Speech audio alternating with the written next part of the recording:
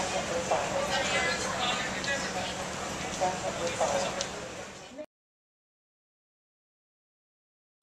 like to ride my train because it's safe, it's fast, it uh, saves on my uh, commute time, and uh, I definitely would stand, stand up for my train.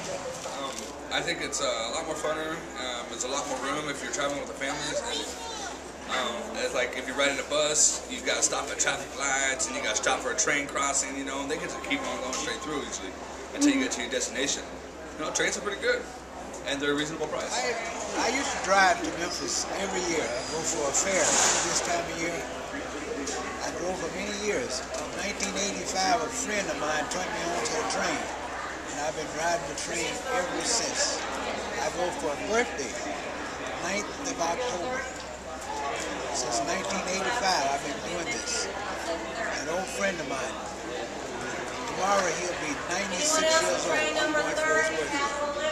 That's why I ride the train. than driving down here. You don't have to find parking and pay for it like you do with a car, and somehow it seems safer.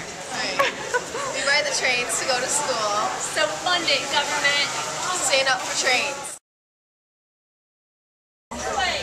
Hi, I think that the government should stand up for trains so that people can get to work and it cuts down on pollution and uh, congestion in the streets.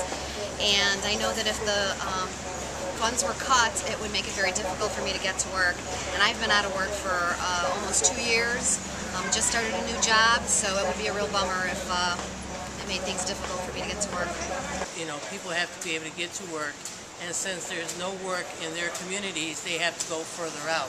I know it's very costly for me, and um, I don't think that they should not continue to support transportation because it's the way to go in the future.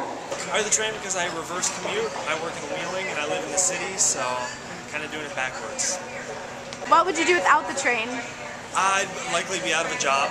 First of all, I have no way to get to my place of work without the train. I don't drive, so um, probably be a pretty rough time, to be honest. And go.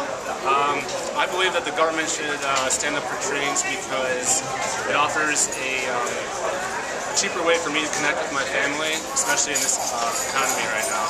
So don't cut funding. We stand up for trains. We believe it's an efficient way of traveling. Uh, I'm a bus driver by profession in St. Paul, so I believe in mass transit, and I believe that if we had more service available, more people would take the train rather than driving. I particularly like to take the train because then I don't have to drive.